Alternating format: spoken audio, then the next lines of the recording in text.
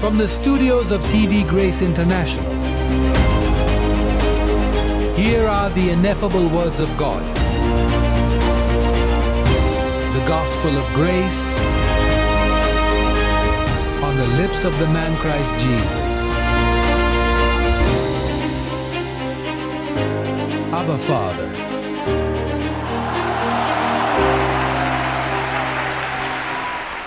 Well, let's get right down to business. Let's look at the second letter to the Corinthians.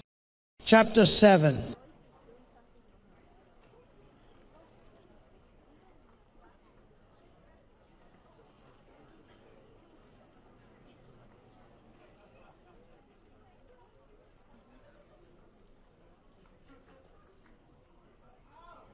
Chapter 7, verse 1.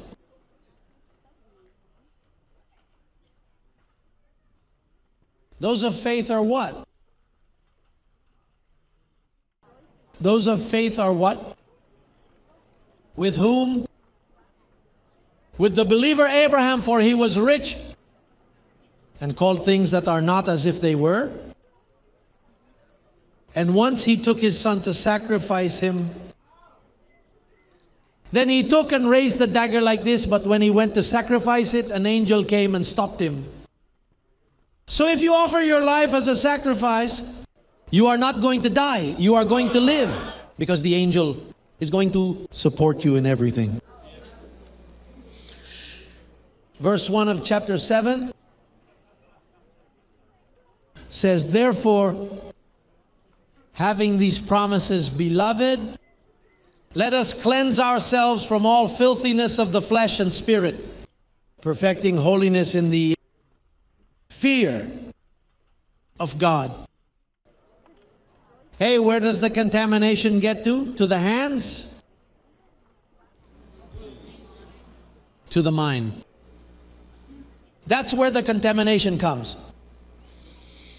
The mind becomes contaminated.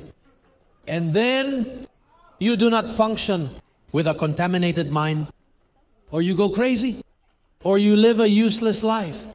Or you live a life of suffering, or you live a mediocre life, or you live a destroyed life full of complexes, complaining.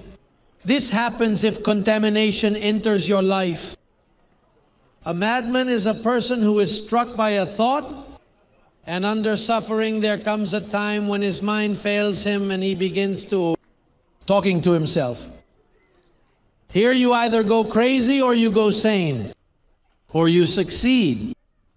And we have the information so that you succeed. We teach you to speak a language that transforms your life.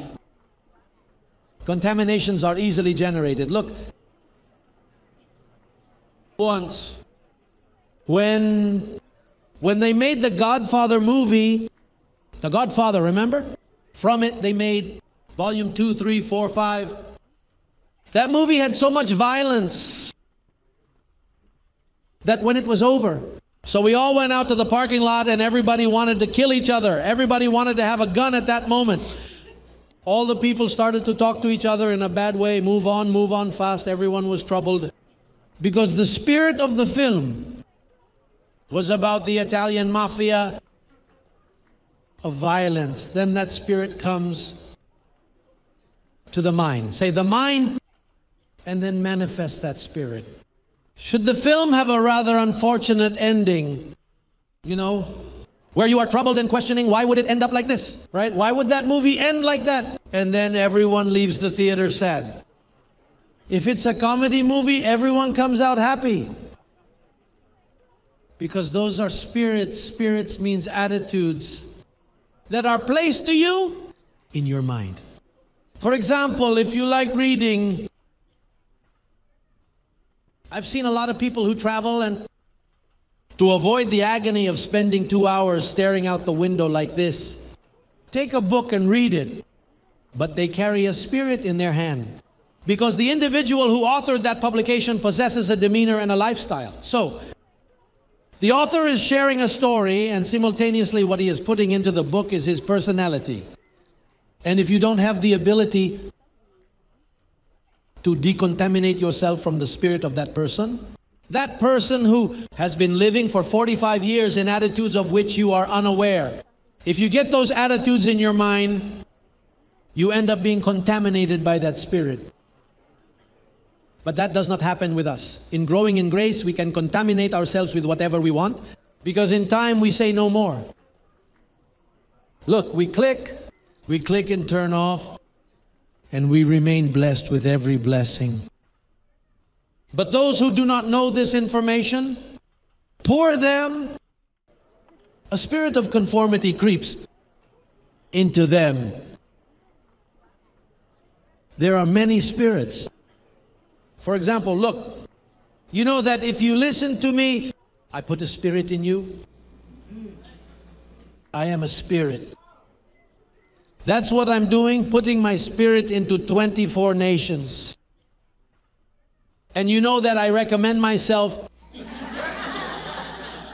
because my spirit, look, my spirit is of joy. My spirit is positive. It's of love. It does not hurt. It comforts, generates joy and contentment. I sometimes wake up in the morning in a spirit and I think to myself, hold on, this feels like salsa. Or sometimes I wake up in the spirit of soft music with ballads or rock. I have, I adjust my mind to whatever I want. Hello. Well, that's being a God. The gods imagine in the Bible. God says you are gods. Well, the gods have to dominate their surroundings. You know, the surroundings have to be dominated by you. The surroundings cannot dominate you. That is why the brothers in Cuba, they are there. We submit to this government and they went to talk to Fidel with the government. We are not in hiding. Look, here are the addresses. We are here, here, and there. And you know that in Cuba, they do not approve any more organizations. They were told, well, go and submit to the groups that have already been accepted in the past. But they said, no, we don't want that. That is contaminated. We want the spirit of Jose Luis. Hello. Hello. the spirit of the gospel.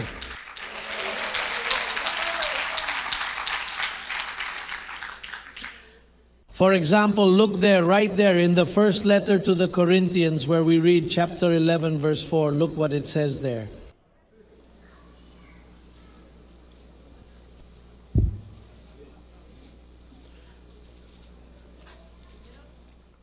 Second letter, where we were reading right there in chapter 11, verse 4. What does Paul say in verse 4? Are they all there? For if he who comes preaches another Jesus, whom we have not preached. Yes, Paul preached the spirit of the resurrected Jesus, but the apostles preached Jesus, the long suffering one, the one from Nazareth. Because that is what they lived, what their hands touched according to the word of life, for they spoke of it. Now, Paul did not walk with Jesus of Nazareth, Paul saw him resurrected. Therefore, Paul was talking about another style of Jesus.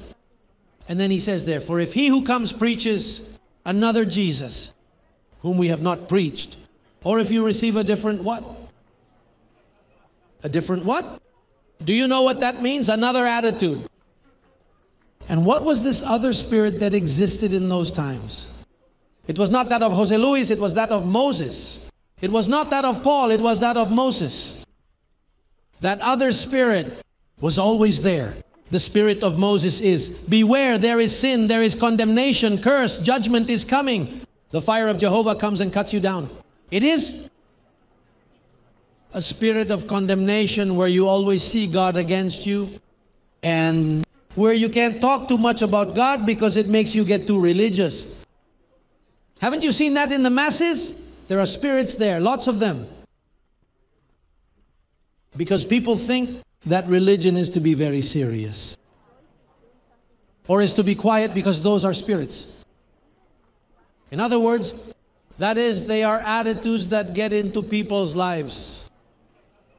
And then Paul said, Look, for if he who comes preaches another Jesus whom we have not preached, or if you receive a different spirit, and then he said to them, or a different gospel, or another gospel because Paul knew that there was another gospel, the gospel of circumcision. And then he was always taking care of the church. Look, be careful, don't get another spirit. Because if they receive another spirit, they will not reign. You have to be very careful how you speak. Our vocabulary is very important. When a person doesn't know how to speak, you must depart from them. A person who is always complaining and is always criticizing and always is, you know, things are bad. You know, man? Hey! And then they get into the politics of their country. You know, they are always complaining. Have you heard those programs here in Miami? That you hear a spirit, anti whatever spirit, and always complaining and complaining and with problems. And then you get into that, and that spirit gets into you. This life is made up of spirits. Hey, I wonder which spirit is operating in you tonight.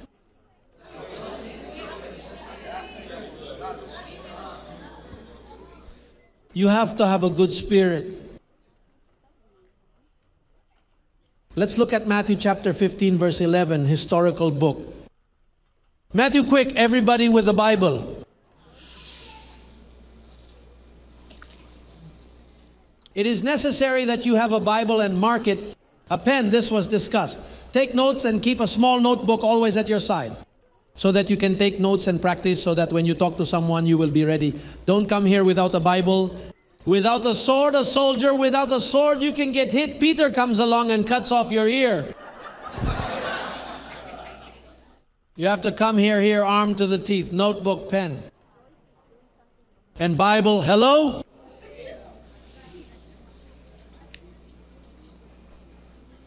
Matthew chapter 15, verse 11. Not what goes into the mouth. Are we all there? Not what goes into the mouth defiles a man. How many things go into the mouth? Huh? What goes into the mouth? Many things. That does not contaminate. Now look what it says. But what comes out of the mouth, this defiles a man. Yes, because there are people who judge you because you ate certain food, pork food, this food, forbidden foods. But what contaminates is what comes out. Do you know why? Because what comes out is the abundance of your heart, what is here. And if you are contaminated, I don't want to be next to you. Imagine you go on vacation to visit a relative you haven't seen in a while.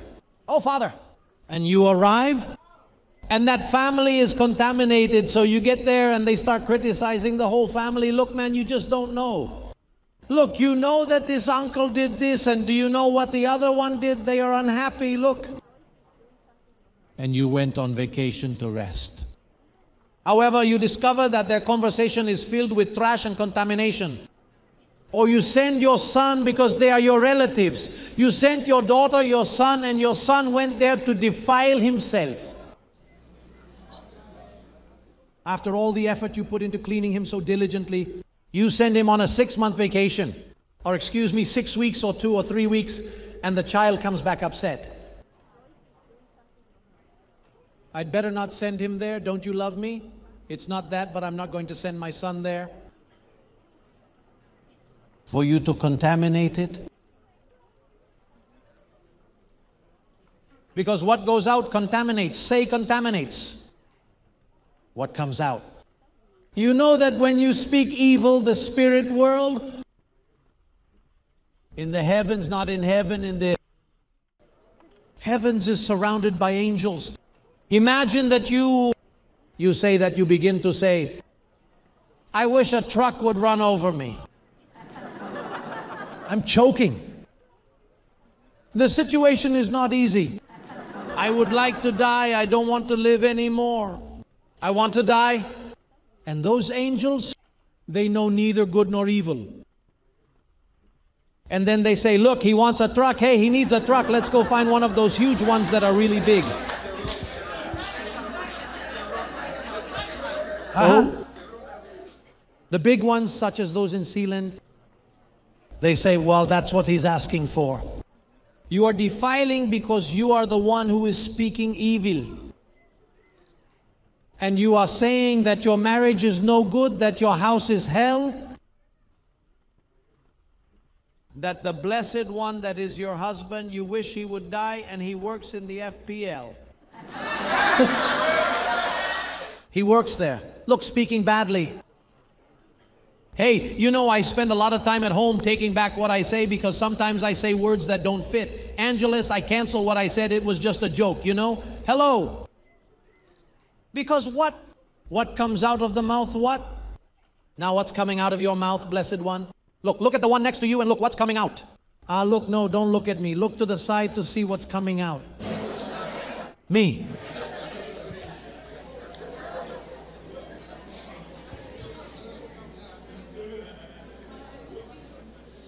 Be careful of what is coming out because that is what you are receiving. And then you come to say the gospel of grace does not work. What do you mean it does not work? It says decontaminate yourselves. That is your job.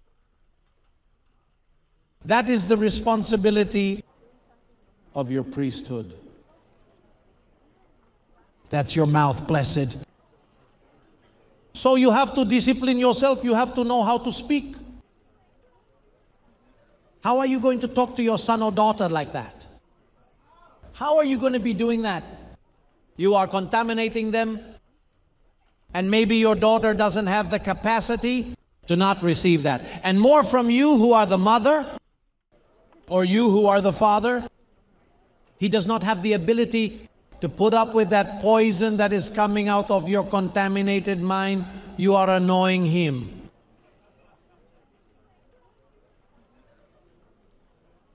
You are hurting him because you are a very powerful being. You are a spirit living in a body. You are a God. When you speak your words, they carry tremendous power.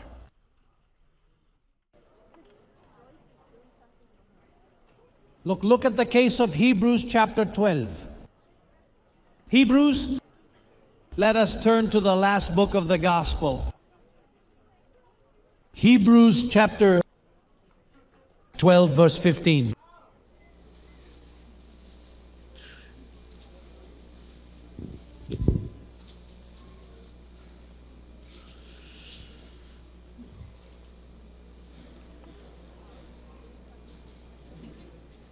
Verse 15, are they there? Hallelujah. Do not contaminate yourself.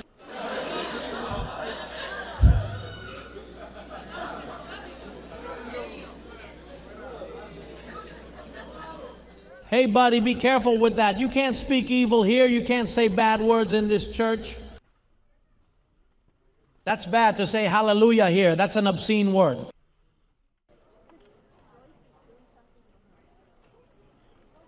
Look at what verse 15 says. Looking diligently, hello, say looking diligently.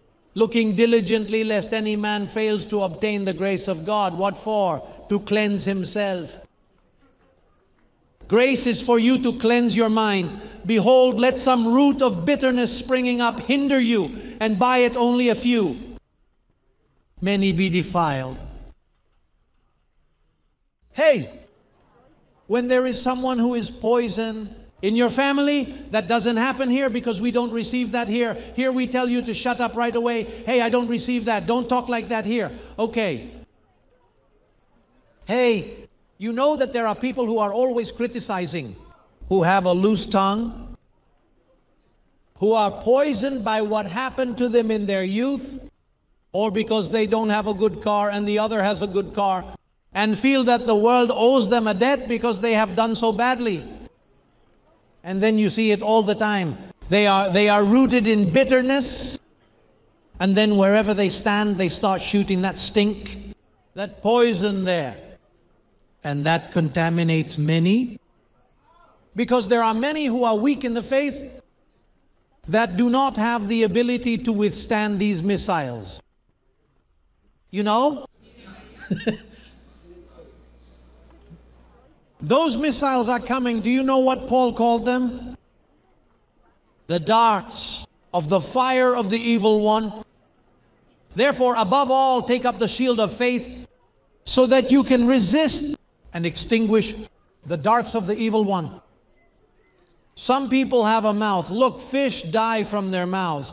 There are people who have a loose mouth and love to criticize. And what they are looking for is for someone to talk to them about such a topic so they can criticize. And they start to criticize. Take a good look. Look closely who is next to you and who is talking to you. Look, I'm going to tell you something about this person. You know, here between us. Look, no, no, don't contaminate me. Take that over there. I'm not interested. Leave me clean. Why do you have to be dirtying me? Why do you have to be vomiting on me? Swallow your own vomit, but don't come to me and talk badly. Hello.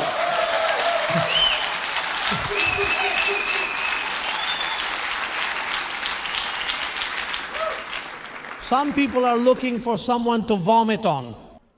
They say, hey, who will lend me their clothes so I can vomit on them? Go to the bathroom, look and scream there in the bathroom, do whatever you want, but don't come and throw that dirty vomit of the root of bitterness at me. And many are contaminated, it says so right there, looking diligently. Be careful who is calling you on the phone. Those people who can't live with themselves and are always looking for other people's phone numbers to. It is better to stay alone. Don't give your phone to anyone. Look, let me talk to my husband, then I'll tell you. And why do you have to be asking people for their phones? Unless you're a close friend and that moment comes when you ask for the number. But you don't have to be asking anyone here for their phone numbers. What's the point? To vomit.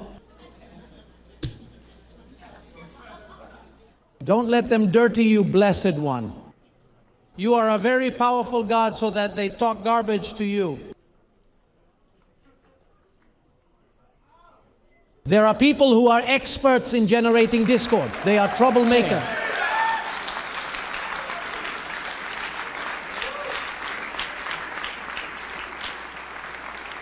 Pastor, are you talking about me? You know that? you know that? But what comes out of your mouth? Look at everything you are saying, it is going to have some effects. For example, I have been saying, since this word became a part of my life, I have always been saying, I am blessed with the believer Abraham. And then I went to find out who Abraham was, and he is rich. Calling things that are not as if they were. The guy is a general. The type is so cool, you know, the guy is the best. For I said, I am blessed together with him. Well, that is what I am. And I started to call things that are not as if they were. To say, I am rich. And I began to confess finances, and it takes time, but it comes. The same happens if you start talking trash, and maybe at the time nothing happens. Talking garbage, garbage, garbage, but one day they bury you in the landfill, and one day you're going to be full of garbage. Because that is what you are talking about, and what comes out of your mouth has effects in the spiritual world and manifests in the physical world. Please.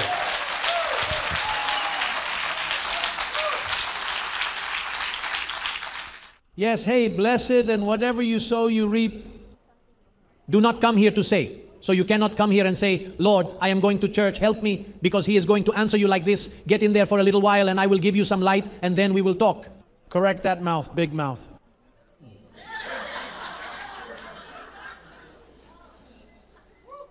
You have to correct your vocabulary. That's why the angels are holding off because that vocabulary of yours is useless and they are not going to serve you a loudmouth like that, talking trash, vomiting all the time, contaminating people, speaking evil in your house, saying things against the covenant, they are not going to be of any use to you until they see that you have that well washed brain, until it is clean and in line